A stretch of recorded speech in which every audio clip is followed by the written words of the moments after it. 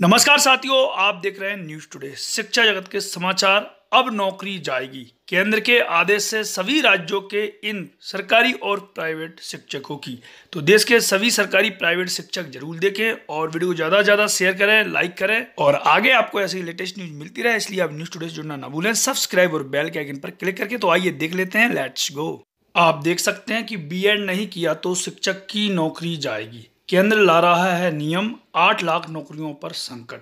बगैर बीएड किए स्कूलों में पढ़ा रहे शिक्षकों की नौकरी संकट में है। केंद्र सरकार ने स्पष्ट कर दिया है कि बीएड के बगैर स्कूलों में नहीं पढ़ा सकेंगे। देश में ऐसे आठ लाख शिक्षक हैं जो बिना बीएड किए पढ़ा रहे हैं। इन्हें 31 मार्च तक का समय दिया गया था। यह बात भी सामने आई है कि नई नौकरियाँ सरकारी के साथ निजी स्कूल भी शामिल में पहले दिन से बीएड की अनिवार्यता रहेगी। इससे संबंधित बिल लोकसभा में पास हो चुका है व राज्यसभा में लंबित है।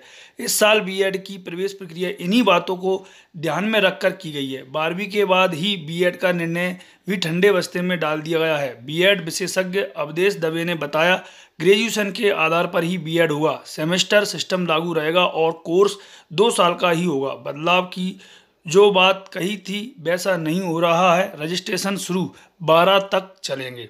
बीएड में एडमिशन मेरिट आधार पर होगा। रजिस्ट्रेशन शुरू हो चुके हैं 12 अप्रैल तक चलेंगे। सरकारी कॉलेजों में दस्तावेज़ सत्यापन प्रक्रिया शुरू हो चुकी है। पहले दौर के लिए यह 15 अप्रैल तक चलेगी। छात्रों को चॉइस फिलिंग और मेरिट आधार पर प्रवेश मिलेगा। कॉलेजों की एसोसिएशन के राम बाबू शर्मा, कविता कासलीवाल ने बताया कि इंदौर के 29 सहित डीएबीबी के दायरे में आने वाले उनसठ कॉलेजों में भी एडमिशन की प्रक्रिया चल रही है। तो साथियों, सरकार का यह निर्णय सही है, गलत आप नीचे कमेंट बॉक्स में अपनी राय ज़रूर बताएँ और आगे आपको ऐसी लेटेस्ट न्यूज़ मिलती रहे, इसलिए आप न्यूज़ टुडे ज़रूर जुड़े, सब्सक्राइब और बेल के आइकन पर क्लिक करके वीडियो देखने के लिए आपका धन्यवाद।